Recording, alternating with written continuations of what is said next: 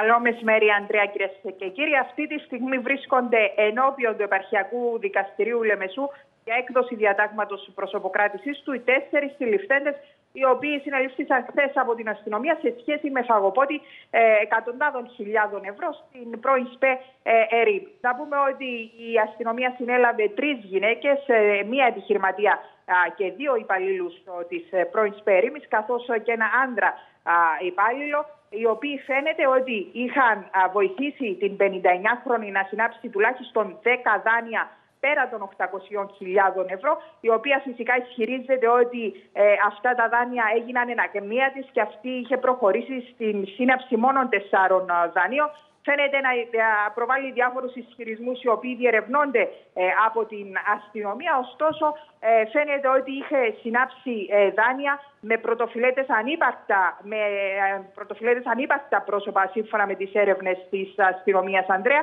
και αυτή τη στιγμή ε, τελούν υποσύλληψη και αναμένεται να ξεκινήσει η διαδικασία στο επαρχιακό δικαστήριο όπου φυσικά θα ακούσουμε και τα γεγονότα πώς εκτελήχθηκαν και πώς έγινε η δράση ε, ώστε να γίνει αυτό το φαγοπότη ε, των 800.000 ευρώ στην προεισπέρη. Ανδρέα. Είναι ένα χαρακτηριστικό παράδειγμα, κυρίες και κύριοι, τι συνέβαινε στο συνεργατισμό. Έρικα, σε ευχαριστούμε πάρα πολύ.